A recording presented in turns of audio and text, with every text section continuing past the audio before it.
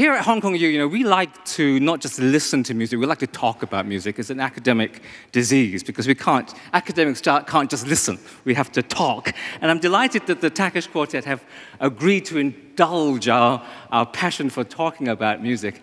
And they want to, you know, uh, indulge my passion for finding out more about what they think about the music they've been playing. And I'm sure you would all uh, agree with me that, you know, you've really taken us on a riveting adventure from early, middle to late Beethoven. And you've chosen, actually, in your program, some of the most challenging quartets, particularly Opus 95 and uh, 131. So 95, Beethoven himself said, not to be performed in public, right? He's very worried that the audience won't get it. And um, Opus 131, I remember, no, I don't remember, there, there reports, I think Berlioz said, you know, he went to this concert and people were walking out after the first few minutes. They just couldn't get it. And Wagner took forever to come to terms with this piece. So I'm just wondering, when you're faced with this kind of very challenging um, Beethoven quartets, uh, what is it that you want to get across to the audience, since the audience you know, seems to find this music so difficult? What is it that you want to express? And I thought I would uh, address my question to the largest member of the quartet. I mean, in terms of instrument size, of course. Uh, yeah. I, Andras, hope, Andras. I, was, I was hoping you would refine this statement, yes. Um, we adore, I mean, I mean, as Daniel was saying, uh, early period, middle period, late period, but for us, it's, it's great fun to, to discover even in the early works, uh, marks and nucleus and ideas for the late period. So uh, we, we have the luxury of, of enjoying a quote-unquote early piece while understanding that this will be a later Razumovsky quartet or this will be a later Grosse Fugue. So we, we love that part, and then apart from that, we just, we just uh, trying to dissect every, every single two notes and, uh, and wonder about the character and, uh, and its general place in the, in the big whole.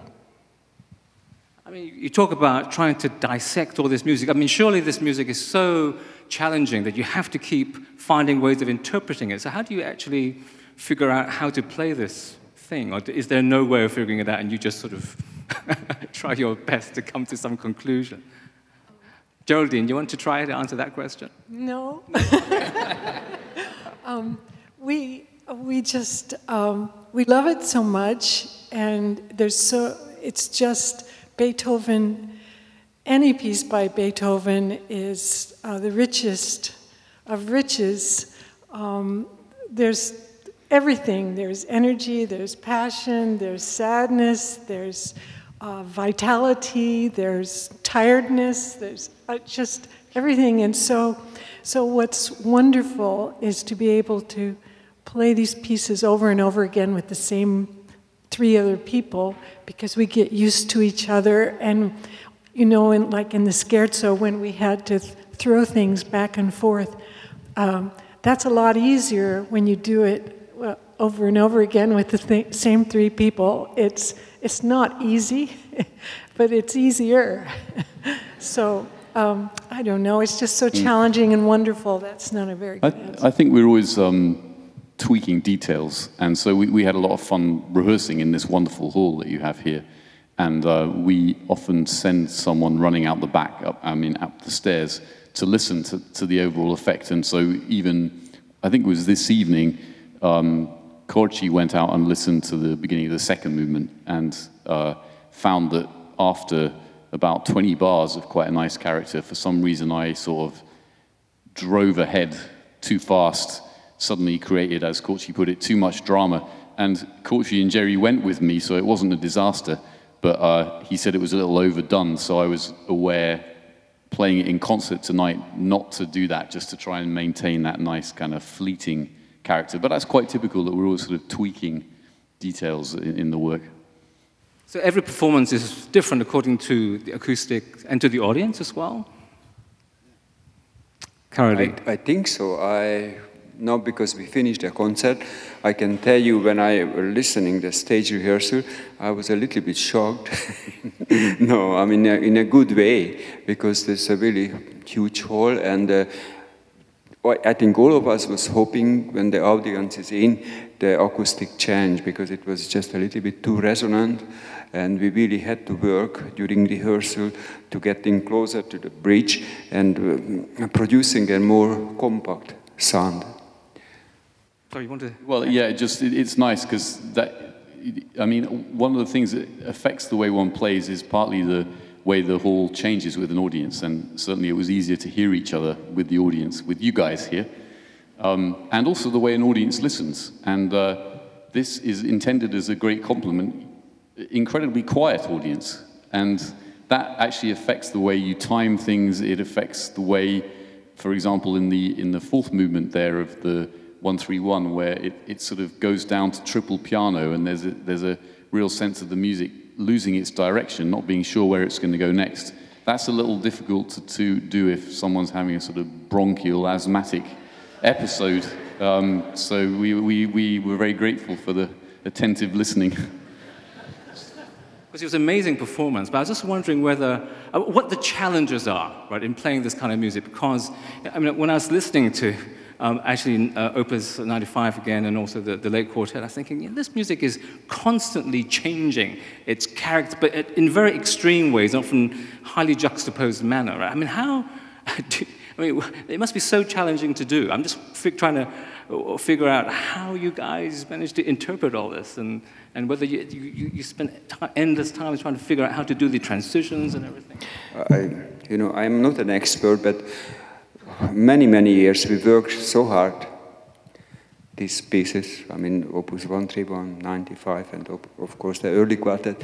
And for me, I don't want to make it general, but the, the easiest, because so many hours of work behind this when you are on concert, coming to the stage performing, just forget everything and just enjoy it. And I, I don't know, just playing. Um, when we were when we were young and innocent and and uh, ignorant, I can I can add. Sorry, had... you never been innocent. you know, fake is part of the business, so yeah. So we we saw a piano, we saw a fortissimo, and then we made a nice organic crescendo, and vice versa. And then it took a while until we realized no, no, I mean, the drama comes from not preparing something. It should, it should uh, surprise you, it should surprise us while we are playing and projecting it. So ever since we are working on the stopping on a dime, turning, and, and that makes it very, very dramatic and ever changing. But, but you're absolutely right that when we come back to this music we hadn't, we hadn't played Opus 95 for quite a long time until we started working on it again in middle of August. And it was the transitional moments that we spent the most time with, how to get from the sort of dramatic beginning into the more lyrical second theme and then, and then all, all those changes. Yeah, they're the things that eat time. And I, I don't know how it is for the others, but they, in that piece as well, because the changes are so fast, they they sort of tie one up physically if you're not careful. I mean, you can sort of get more and more knotted up as you make the changes. So you have to sort of try and um, maintain some sort of physical relaxation while you're actually playing this quite angst-ridden music.